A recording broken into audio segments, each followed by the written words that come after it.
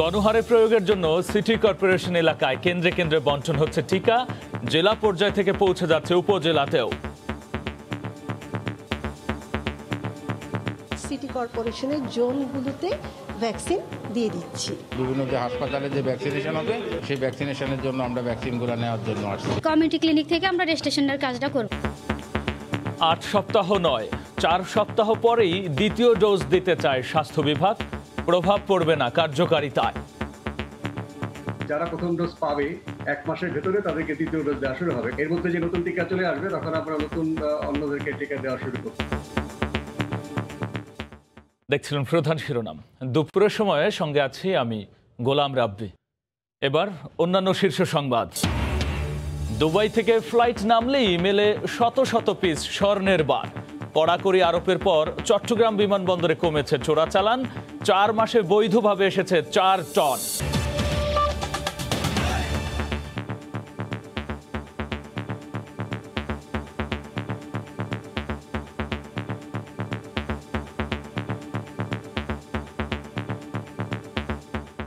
সময়ের সঙ্গে পাল্লা দিয়ে এগিয়ে যাচ্ছে সারা দেশে গণহারে করোনা টিকা প্রয়োগের প্রস্তুতিমূলক কাজ। সকালে সিভিল সার্জনের উপস্থিতিতে রাজধানীর তেজগাঁও জেলা ইপিএস স্টোর থেকে টিকা তুলে দেওয়া হয় ঢাকা উত্তর সিটি কর্পোরেশনের হাতে। নির্ধারিত সময় আগামী সাত ফেব্রুয়ারি সারা দেশে সফলভাবে টিকা প্রয়োগ শুরুর আশা স্বাস্থ্য অধিদপ্তরের। হাতে বাকি আর মাত্র কয়েক ঘণ্টা। আগামী সাত ফেব্রুয়ারি থেকে শুরু হচ্ছে সারা দেশে গণহারে করোনার টিকা প্রয়োগ। আর তাই স্বাস্থ্য বিভাগ সহ সংশ্লিষ্টদের কর্মব্যস্ত দিন। শুক্রবার সকালে রাজধানীর তেজগাঁওয়ের ইপিআই সেন্টার থেকে টিকা তুলে দেয়া হয় ঢাকা উত্তর সিটি কর্পোরেশনের হাতে। টিকা প্রয়োগের সকল প্রস্তুতি সম্পন্ন হয়েছে বলে জানান সংশ্লিষ্টরা। গত তিন এবং চার তারিখে আমাদের ঢাকার তেইশটা হাসপাতালে সরকারি যে মেগা যে হসপিটালগুলো আছে, প্রত্যেকগুলোতে আমাদের যে ভ্যাকসিনেটর যারা ভ্যাকসিনেশন করবে, তাদের সব ট্রেনিং অলরেডি আমাদের সম্পন্ন হয়ে গেছে। ঢাকা উত্তর সিটি কর্পোরেশনের পক্ষ থেকে রিপ্রেজেন্টেটিভ হিসাবে আমাদের যে পাঁচটা জোন আছে সেই জোনগুলোতে আমরা বিভিন্ন যে হাসপাতালে যে ভ্যাকসিনেশন হবে সেই ভ্যাকসিনেশনের জন্য আমরা ভ্যাকসিনগুলো নেওয়ার জন্য আসছি এদিকে রাজধানীর পাশাপাশি সারা দেশে টিকা প্রয়োগের সকল কার্যক্রম সুষ্ঠুভাবে চলছে বলে জানায় স্বাস্থ্য অধিদপ্তর। নর্থ দিচ্ছি আগামী দিন আমরা সাউথ সিটি কর্পোরেশন দিব আর আপনারা সবাই জানেন আমরা ইতিমধ্যে চৌষট্টিটি জেলায় আমাদের ভ্যাকসিন পৌঁছে গেছে। তো সাত তারিখে আমরা আনুষ্ঠানিকভাবে পুরো দেশে আমরা এই ভ্যাকসিনেশন প্রোগ্রামটি শুরু করে যাব মানে সমস্ত জনগণের জন্য। গণহারে টিকা প্রয়োগের জন্য এখনও প্রত্যাশিত সাড়া না মিললেও অধিদপ্তর বলছে ধীরে ধীরে বাড়বে এই সংখ্যা। আর দেশে প্রথমবারের মতো প্রাপ্তবয়স্কদের টিকা দিতে সক্ষমতার ঘাটতি নেই বলে জানায় অধিদপ্তর। রাশেদ বাপ্পি সময় সংবাদ ঢাকা। সারা দেশে কেন্দ্রে কেন্দ্রে পৌঁছে যাচ্ছে করোনার ভ্যাকসিন। সে খবর জানাতে এই মুহূর্তে রাজধানীর তেজগাঁওয়ে আছেন রিপোর্টার রাশেদ বাপ্পি এবং রাজশাহীর পবা উপজেলা চত্বরে আছেন সহকর্মী সাইফুর রহমান রকি। সরাসরি যুক্ত হচ্ছে তাদের সঙ্গে। তবে প্রথমে যাচ্ছি ঢাকায় বাপ্পির কাছে। বাপ্পি। রাবিয়াজ শুক্রবার ছুটির দিন, কিন্তু সরকারের স্বাস্থ্য বিভাগের কর্মকর্তা কর্মচারীদের কিন্তু নানা ধরনের তোড়জোড় আমরা দেখতে পাচ্ছি। আপনি জানেন যে আগামী সাত ফেব্রুয়ারি থেকে শুরু হচ্ছে সারা দেশে গণহারে করোনার টিকা প্রয়োগ এবং এই টিকা প্রয়োগের জন্য যে প্রাথমিক প্রস্তুতি, টিকা পৌঁছে দেওয়া টিকা ঠিকভাবে যে কোল্ড চেইন মেনটেন করে পৌঁছে দেওয়ার যে বিষয়টি, সেইগুলো দেখভাল করার জন্যই কিন্তু স্বাস্থ্য বিভাগের সকল কর্মকর্তা কর্মচারীদের ছুটি বাতিল করা হয়েছে এবং তারা তাদের কাজটি সেই সুষ্ঠুভাবে করছেন। আমরা ঠিক এই মুহূর্তে রয়েছে রাজধানীর তেজগাঁওয়ের ইপিআই সেন্টারে। এখানে এসে আমরা সকাল থেকে দেখেছি ঢাকা উত্তর সিটি কর্পোরেশনের পাঁচটি জোন এবং মুগদা মেডিকেল কলেজ হাসপাতাল। এদেরকে মূলত টিকা আজকে সরবরাহ করা হয়েছে এবং আমার পেছনেই দেখতে পাচ্ছেন ইপিআই সেন্টারটি ঠিক এই মুহূর্তে বন্ধ করে দেওয়া হয়েছে। এখান থেকে কিছুক্ষণ আগেই টিকা সরবরাহের যে প্রক্রিয়া সেটি শেষ হলো। অর্থাৎ যে টিকা সবার কাছে পৌঁছে দেওয়ার জন্য, নির্ধারিত সময়ে পৌঁছে দেওয়ার জন্য যে প্রক্রিয়া, সেই প্রক্রিয়া আজকেরটা শেষ হলো এবং আগামীকালকে দক্ষিণ সিটি কর্পোরেশনের এবং অন্যান্য হাসপাতালগুলোতে টিকা পৌঁছে দেওয়ার যে প্রক্রিয়া, সেটি সম্পূর্ণ হবে। আমরা এখানে এসে দেখতে পেয়েছি যে ঢাকা সিভিল সার্জন, স্বাস্থ্য অধিদপ্তরের লোকজনও ছিলেন। একই সঙ্গে বিশ্ব স্বাস্থ্য সংস্থার প্রতিনিধিরা উপস্থিত ছিলেন যাতে কোনো রকম ভুল, ভ্রান্তি বা ত্রুটি না থাকে টিকা পৌঁছে দেওয়ার যে প্রক্রিয়া। আপনি জানেন যে অত্যন্ত স্পর্শকাতর একটি বিষয়। এবং যেখানে যে যে কোল্ড চেইন সেটা কিন্তু মেনটেন করার একটি বিষয় রয়েছে। সেটি যাতে ঠিকভাবে হয়, সেই ব্যবস্থাপনাই আমরা দেখলাম এখানে করা হয়েছে এবং সিটি কর্পোরেশনের পক্ষ থেকে যাদের সঙ্গে আমরা এখানে এসে পেয়েছি, তারা বলেছেন যে তারা কিন্তু তাদের মতো করে প্রস্তুতি নিয়ে রেখেছেন। অর্থাৎ আগামী সাত তারিখে তারা সুষ্ঠুভাবে টিকা প্রয়োগ করতে পারবেন। তবে একটি বিষয় না জানালেই নয় যে টিকা প্রয়োগের যে পরিকল্পনা, সেখানে কিন্তু কিছুটা পরিবর্তন আমরা ইতিমধ্যে, রাব্বি, আপনি হয়তো জেনেছেন যে বাংলাদেশ সরকারের কাছে এখন এই মুহূর্তে সত্তর লাখ টিকা রয়েছে, যেটি আগামী এক মাসের মধ্যে সাত লাখ টিকা প্রয়োগ করার কথা ছিল যদিও সেখান থেকে পরিবর্তন এনে এই মাসে অর্থাৎ পঁয়ত্রিশ লাখ টিকা দেওয়ার একটি সিদ্ধান্ত নেওয়া হয়েছে বলে আমরা জানতে পেরেছি এবং বলা হচ্ছিল যে প্রথম দফায় যাদের টিকা দেওয়া হবে তাদের আট সপ্তাহ বিরতি দিয়ে দ্বিতীয় ডোজ দেওয়া হবে। কিন্তু সেক্ষেত্রেও আমরা যেমনটা জেনেছি যে চার সপ্তাহের ব্যবধানেই দ্বিতীয় ডোজ দেওয়ার পরিকল্পনা রয়েছে। আমরা একটু জানব রাজশাহীর খবর। রাজশাহীর পবা এলাকায় রয়েছেন সহকর্মী সাইফুর রহমান, রকি। রকি, রাজশাহীর কি অবস্থা? হ্যাঁ ধন্যবাদ আপনাকে। রাজশাহীতে এক লক্ষ আশি হাজার ডোজ করোনার যে ভ্যাকসিন, সেটি গত শুক্রবার কিন্তু পৌঁছে গেছে এবং পরবর্তীতে সেটি ইপিআই স্টোরে সেখানে রাখা ছিল এবং সেখান থেকে কিন্তু পর্যায়ক্রমে প্রতিটি উপজেলা পর্যায়গুলোতে সেই করোনার যে ভ্যাকসিন সেটি কিন্তু এরই মধ্যে চলে যেতে শুরু করেছে। আমরা ইতিমধ্যে পবা উপজেলার যে স্বাস্থ্য কমপ্লেক্স সেখানে এসেছি। সেখানেও কিন্তু আমরা দেখেছি যে এখানে প্রায় পবা উপজেলার একুশ হাজার সাতশো নব্বই ডোজ তারা এরই মধ্যে পেয়েছেন যেটি দশ হাজার আটশো পঁচানব্বই জনকে তারা সেই করোনা ভ্যাকসিনটি দিতে পারবেন। এটি আমাদেরকে নিশ্চিত করা হয়েছে। পাশাপাশি আহ, আমাদেরকে রাজশাহী জেলা সিভিল সার্জন যেটি বলছেন যে এক লক্ষ আশি হাজার যে ভ্যাকসিন এসেছে, সেটি কিন্তু পর্যায়ক্রমে কয়েকটি ধাপে কিন্তু দেওয়া হবে এবং সেই জন্য যে স্বাস্থ্যকর্মীদের প্রশিক্ষণ, সেগুলো কিন্তু এরই মধ্যে সমাপ্ত হয়েছে এবং আজকেও কিন্তু আমরা দেখেছিলাম সেই প্রশিক্ষণের কার্যক্রমের অংশ হিসেবে কিন্তু তারা তাদেরকে নানা ধরনের পরামর্শ দিচ্ছেন যে কীভাবে সেই ভ্যাকসিনগুলো আসলে মানুষের শরীর শরীরে প্রয়োগ করা হবে। পাশাপাশি আমরা দেখেছিলাম গত এক ও দুই ফেব্রুয়ারি থেকেই এই প্রশিক্ষণ কার্যক্রম শুরু হয়ে গেছে, কারণ যেহেতু আগামী সাত ফেব্রুয়ারি থেকে এই ভ্যাকসিনগুলো দেওয়া শুরু হবে। পাশাপাশি রেজিস্ট্রেশন যে প্রক্রিয়া, সেটিও কিন্তু থেমে নেই। সব মিলে আসলে মানুষের ভেতরে কিন্তু আগে যে ভয়টি ছিল, এখন কিন্তু তারা উৎসাহ নিয়েই বলছেন যে পর্যায়ক্রমে তারাও কিন্তু এই করোনার ভ্যাকসিন নিতে চান এবং সেই জন্য কিন্তু যেসব চিকিৎসা কর্মী আছে, তারা কিন্তু তাদেরকে আগ্রহী করে তুলছে। তবে একেবারে যে প্রথম ধাপ, সেই প্রথম ধাপে করোনার যে ভ্যাকসিনটি পাবে, সেটি স্বাস্থ্য সংশ্লিষ্ট যারা রয়েছেন, তারা কিন্তু এই করোনার ভ্যাকসিনগুলো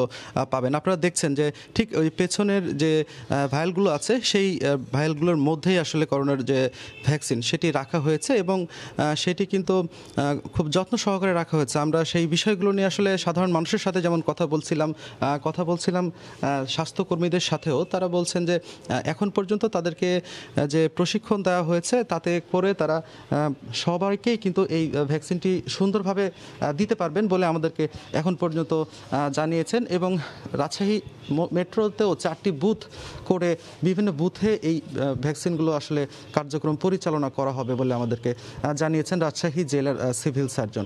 তো এমনটি ছিল আমার কাছে সর্বশেষ। রাব্বি।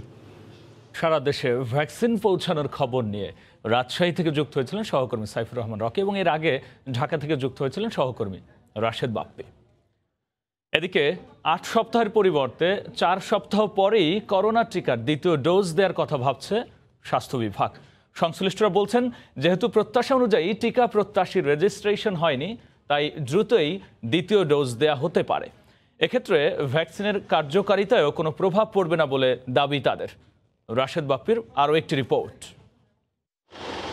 আর মাত্র একদিন বাদেই শুরু হবে গণহারে করোনার টিকা প্রয়োগ। এরই মধ্যে দেশের চৌষট্টি জেলাতেই পৌঁছে গেছে সেরাম থেকে আনা অক্সফোর্ড অ্যাস্ট্রেজেনেকার করোনা টিকা। রাজধানীর পাঁচটি হাসপাতালে প্রাথমিক পর্যায়ে স্বল্প পরিসরে হয়েছে প্রয়োগ। এখনও তেমন কোনো পার্শ্ব প্রতিক্রিয়ার খবর মেলেনি। বড় পরিসরে টিকা দিতে ঢাকার দুই সিটি কর্পোরেশনের হাসপাতালগুলোতে প্রশিক্ষণের কাজ শেষ। তেতাল্লিশটি কেন্দ্রে বড় হাসপাতালগুলো বাদ দিয়ে অধিকাংশেই আপাতত রাখা হবে একটি করে বুথ। যে ভ্যাকসিন জনগণের একদম দাঁড়গোড়ায় পৌঁছে দেওয়ার জন্য ঢাকা শহরের সকল সরকারি হাসপাতাল ইনস্টিটিউট মেডিকেল কলেজ এবং অন্যান্য যে পেশাজীবী হাসপাতাল আছে, পুলিশ হাসপাতাল সিএমএইচ পিডি হাসপাতাল, সেখানেও আমরা এবার কেন্দ্র খুলেছি।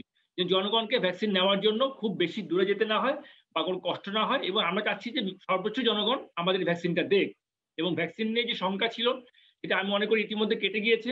এদিকে অ্যাপ চালু না হলেও ওয়েবসাইটের মাধ্যমে রেজিস্ট্রেশন হয়েছে প্রায় পঁচিশ হাজার। তাই আগের পরিকল্পনা থেকে সরে এসে প্রথম চার সপ্তাহ পরেই দ্বিতীয় ডোজ দেবার কথা ভাবছে স্বাস্থ্য বিভাগ। সেক্ষেত্রে এর কার্যকারিতা একই থাকবে বলেও মত তাদের। যদি আমরা যথেষ্ট সংখ্যক মানুষকে সত্তর লাখ মানুষকে যদি এক নাগারে দেওয়ার বিষয়ে আমাদের ইয়ে থাকে ঘাটতি থাকে সেক্ষেত্রে তো আমাদের অর্ধেক হয়ে গেলে বাকি অর্ধেককে দেওয়া শুরু করা যেতে পারে। দু মাস পরে দেওয়ার কথা ছিল, সেটি আমরা যদি সারা না পেলে আমরা এক মাস পরেই দ্বিতীয় ডোজের টিকা দেওয়ার কথা চিন্তা ভাবনা করছি। এর মধ্যে যে নতুন টিকা চলে আসবে, তখন আমরা নতুন অন্যদেরকে টিকা দেওয়া শুরু করব। জনগণকে উদ্বুদ্ধ করতে এই দফায়ও প্রথম দিনে বেশ কয়েকজন বিশেষ ব্যক্তি টিকা নেবেন বলে জানিয়েছে স্বাস্থ্য বিভাগ।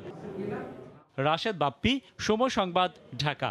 চট্টগ্রাম শাহ আমানত বিমানবন্দর যেন স্বর্ণের খনিতে পরিণত হয়েছে। দুবাই থেকে বিমানের ফ্লাইট আসলেই মিলছে শত শত পিস স্বর্ণের বার। তবে গত চার মাসে এই রুটে বৈধভাবে চৌত্রিশ হাজার পিস বা চার মেট্রিক টন স্বর্ণের বার আনা হয়েছে। আর এই খাতে সরকার রাজস্ব পেয়েছে প্রায় সত্তর কোটি টাকা। চোরাচালান ঠেকাতে কড়াকড়ি অবস্থান নেয় স্বর্ণের বার বৈধ করার হার বাড়ছে বলে মনে করছেন কাস্টমস কর্মকর্তারা। কমলদের রিপোর্ট চট্টগ্রাম শাহ আমানত বিমানবন্দরে এখন দুবাই থেকে ফ্লাইট নামলেই যাত্রীদের ভিড় লেগে যায় কাস্টমস অফিসের সামনে। যাত্রীদের এবির স্বর্ণ বৈধ করার প্রক্রিয়া। গত জানুয়ারি মাসে যাত্রীরা বৈধ করেছে এগারো হাজার বাষট্টি পিস স্বর্ণের বার। অবশ্য এর আগের মাসে ডিসেম্বরের রেকর্ড পরিমাণ স্বর্ণের বার বৈধ হয়েছিল, যার পরিমাণ ছিল এগারো হাজার দুশো ষাট পিস। প্রতি মাসে এখন স্বর্ণ থেকে বিশ থেকে বাইশ কোটি টাকা রাজস্ব আদায় হচ্ছে। এয়ারক্রাফটের যে সিটগুলো আছে, আমাদের কাস্টমসের অফিসাররা গিয়ে নিয়মিত রামেজ করে। যার কারণে অবৈধ পন্থায় আনার যে ইটা ইচ্ছাটা তাদের কমে গেছে। তারা এখন ঝুঁকির মধ্যে আছে। এই জন্য বৈধ পন্থায় আনার চেষ্টা করতেছে। একজন যাত্রী বিশ হাজার টাকা হারে শুল্ক পরিশোধ করে দুটি পর্যন্ত স্বর্ণের বার বৈধ করার সুযোগ পান। আর বৈধ পথে স্বর্ণ আসতে থাকায় চোরাচালান এখন শূন্যের কোঠায়। গত বছরের অক্টোবর মাসে দুটি ফ্লাইট থেকে উদ্ধার করা হয় চোরায় পথে আনা দুশো পিস স্বর্ণের বার। তখন থেকে বৈধ পথে আনার পরিমাণ বাড়ছে। সচেষ্ট আছি। কেউ যদি বৈধ পথের আনার পরেও যদি কাছে অতিরিক্ত কিছু থাকে বা বেশি কেউ নিয়ে আসে সেটা আমরা চেক করছি এবং তার বিরুদ্ধে ব্যবস্থা নিচ্ছি। তবে রহস্য সৃষ্টি হয়েছে বৈধ পথে আনা বিপুল স্বর্ণের বারের গন্তব্য নিয়ে। চট্টগ্রামের জুয়েলারি ব্যবসায়ীদের দাবি এসব স্বর্ণের বার অলংকার তৈরির জন্য তাদের কাছে আনা হয় না। যেহেতু বাংলাদেশে এখন হলমার্ক চালু হয়েছে তাহলে মেকিং চার্জের দিকে বিদেশ থেকে অর্ধেক পড়তেছে। স্বর্ণগুলো এনে এখানে পছন্দ নিয়ে পছন্দ পাবে। যার যার নকশা পরিবারের পছন্দ মতো স্বর্ণ তৈরি করতেছে। স্বর্ণ রাখছে মজুর রাখছে কি কারণে? স্বর্ণের দাম বাড়তেছে টাকার দাম কমে যাচ্ছে। দুহাজার উনিশ সালে চট্টগ্রাম শাহ আমানত বিমানবন্দরে চোরাচালান হয়ে আসা একশো তিরানব্বই কেজি স্বর্ণের বার জব্দ হলো। বৈধভাবে স্বর্ণ আনার তেমন নজির ছিল না। কমল দে সময় সংবাদ চট্টগ্রাম। ছত্রিশ বাংলাদেশি শিল্পীর আঁকা ছবি নিয়ে আজ কলকাতার একাডেমি অফ ফাইন আর্টসে শুরু হতে যাচ্ছে পাঁচ দিনব্যাপী বঙ্গবন্ধু এবং বাংলাদেশ শিরোনামে চিত্র প্রদর্শনী। একই সঙ্গে আজ কলকাতায় বাংলাদেশ তৃতীয় চলচ্চিত্র উৎসবের সূচনা হবে। বিশ্বজিৎ দাসের ক্যামেরায় সুব্রত আচার্যের রিপোর্ট। যে রাধে, সে চুলো বাঁধে। বহুল প্রচলিত এই প্রবাদটি যে চিরন্তন সত্য, সেটা বলার অপেক্ষা রাখে না। এই প্রবাদটি তৈরি হয়েছিল কিছু গুণী মানুষের জন্য। তাদের একজন বি এম জামাল হোসেন। বর্তমানে কলকাতার বাংলাদেশ উপদূতাবাস প্রধান হিসেবে দায়িত্ব পালন করছেন। ব্যস্ততম এই মানুষটি একজন নামী শিল্পীও। বঙ্গবন্ধুর জন্ম শতবর্ষের আয়োজন হিসেবে কলকাতায় শুক্রবার থেকে শুরু হওয়া চিত্র প্রদর্শনীতে এই কূটনীতিক শিল্পীর আঁকা চারটি ছবিও স্থান পেয়েছে। শিল্পকলা একাডেমিতে একাডেমিতে সেটি হয়েছে। তো সেখানে বঙ্গবন্ধুর বেশ কিছু চিত্রকর্ম আমি করেছিলাম। তার থেকে এবং নতুন কিছু চিত্রকর্ম নিয়ে মোট চারটি চিত্রকর্ম এখানে স্থান স্থান পেয়েছে। একাডেমি অফ ফাইন আর্টসে ছত্রিশ জন বাংলাদেশি শিল্পীর ছবি নিয়ে যখন এই চিত্র প্রদর্শনী চলবে, ঠিক একই সময় পাশের নন্দনের সব প্রেক্ষাগৃহে চলবে বাংলাদেশি চলচ্চিত্র। দুটি অনুষ্ঠানই উদ্বোধন করবেন বাংলাদেশের তথ্যমন্ত্রী ডক্টর হাসান মাহমুদ। বঙ্গবন্ধুর জন্ম শতবার্ষিকী বাংলাদেশের সুবর্ণ জয়ন্তী। তো এবার আমরা বাছাই করে ভালোভাবে কীভাবে করতে হয় করতে পারি সেটা অবশ্যই থাকবে এবং সরকার সে নির্দেশনা অনুযায়ী আমরা কাজ করব। বঙ্গবন্ধুর জন্ম শতবর্ষ স্বাধীনতার পঞ্চাশতম বর্ষ এবং ভারত বাংলাদেশের কূটনৈতিক সম্পর্কের পঞ্চাশ বছর পূর্তি উপলক্ষে চলতি মাসের ন তারিখ পর্যন্ত কলকাতায় চলবে বাংলাদেশের নানা অনুষ্ঠান।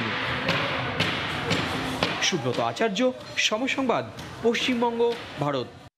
শুধু যানবাহন চলাচলে অবিশ্বাস্য গতিই আনেনি। নান্দনিক সৌন্দর্য মানুষকে রীতিমতো মুগ্ধ করছে ঢাকা মাও এক্সপ্রেস হাইওয়ে।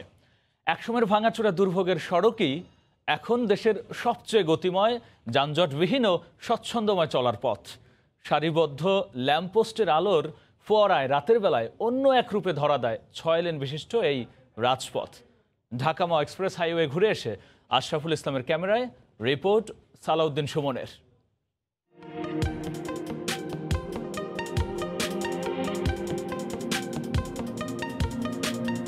এমন সুপ্রশস্ত, ছিমছাম আর দৃষ্টিনন্দন সড়ক দেখে ভরকে যেতে পারেন যে কেউ। উন্নত বিশ্বের কোনো দেশের রাজপথ ভেবে ভুল করাটাও অস্বাভাবিক কিছু নয়। আদতে এটি বাংলাদেশের ঢাকা মাওয়া এক্সপ্রেস হাইওয়ের চিত্র। ছয় লেন বিশিষ্ট এই রাস্তাটি দেশের সড়ক যোগাযোগ ব্যবস্থায় নতুন এক দিগন্তের সূচনা করেছে। প্রায় এক বছর আগে চালু হওয়া রাস্তাটি মানুষের জীবনে শুধু গতি আনেনি, নান্দনিক সৌন্দর্যে মুগ্ধও করছে। এখন তিরিশ মিনিটে বা পঁয়ত্রিশ মিনিট আমরা ঢাকা যেতে পারি। আগে দুই থেকে তিন ঘণ্টা লেগে যেত। দশ বছর আগে আমি এই রোডে চলাফেরা করতাম তাই দশ বছর পর আবার আসলাম যে না খুবই উন্নত খুব ভালো মনে হয় যে বিদেশে আছে। এইটা দেখে মনে হয়েছে অনেক ভালোই আমাদের বাংলাদেশ অনেক উন্নত হয়েছে।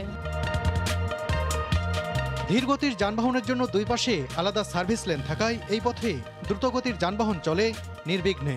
দিনের শেষে যখন সন্ধ্যা নামে তখন অন্যরকম এক রূপে ধরা দেয় ঢাকা মাওয়া এক্সপ্রেসওয়ে। সন্ধ্যার পর যখন ধীরে ধীরে আধার নেমে আসে, তখন আমার পেছনে যে দেখতে পাচ্ছেন ল্যাম্পপোস্টের বাতিগুলো, সেই বাতি থেকে আলোগুলো যেন পিস ঢালা পথে ফোয়ারার মতো ঝরে পড়তে থাকে। রাতের মাওয়া রোড সত্যিই মোহনীয়। আলোয় আলোয় উদ্ভাসিত রাজপথের সৌন্দর্য যেন কল্পনাকেও হার মানায়। রাত নামলেই কর্মব্যস্ত শহুরে জীবনের ক্লান্তির ছাপ মুছতে এই আলোর রাজ্যে ছুটে আসেন বহু মানুষ। শুভ্র আলোর ফলগোধারায় গা ভাসিয়ে মনটা রাঙিয়ে নেন তারা। অপূর্বময় সুন্দর। সামনের সাইডটা অনেক সুন্দর। খুব ভালো লাগার মতো জিনিস আর কি। জায়গাটা অনেক সুন্দর দেখার মতো একটা জায়গায় তো এখানে এসে মানে ভালোই লাগছে। কোনো ধুলাবালি নাই কোনো কিছু নাই যে সুন্দর পরিবেশ রাস্তাও খুব সুন্দর। খুব ভালো লাগে সব মিলিয়ে। ভিডিও করতে করতে বললাম যে গাড়ি ড্রপ করো আমরা এখানে নামি। ভালো লাগছে বলেই নামছি।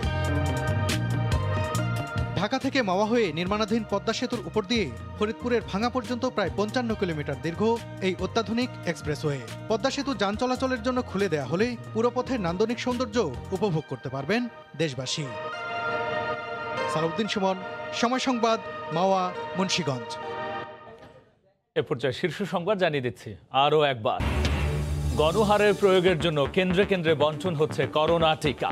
আটের পরিবর্তে চার সপ্তাহ পরে দ্বিতীয় ডোজ দিতে চায় স্বাস্থ্য বিভাগ। প্রভাব পড়বে না কার্যকারিতা এ ছিল দুপুরের সময়। সঙ্গে থাকুন সময়।